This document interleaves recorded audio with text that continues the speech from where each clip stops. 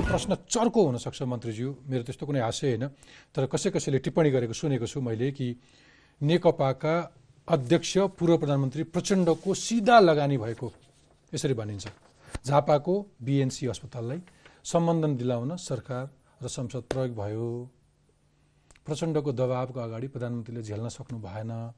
अनि यो सम्झौता उल्लङ्घन हुन पुग्यो भनेर टिप्पणी छ। यसमा तपाईँको स्पष्टीकरण के छ? यसो गरौँ न। तपाईँ जस्तो एउटा वरिष्ठ पत्रकार हुनुहुन्छ तपाईँको एकदमै ज्यादै महत्त्वपूर्ण कार्यक्रम छ। म आएको छु। प्रधानमन्त्रीलाई र कमरेड प्रचण्डलाई तपाईँले यहीँ बोलाएर उहाँसँगै बसेर यो बारेमा संवाद। गर्नु धेरै राम्रो हुन्छ। यसमा बस्न खोज्नु भयो उहाँहरूलाई नि सोध्नुहोस् भनेको चाहिँ मलाई नबोलाउनुहोस् भन्ने उहाँहरूको लगानी लगायतका विषयमा म जवाफ दिन सक्दिनँ। बिल्कुल।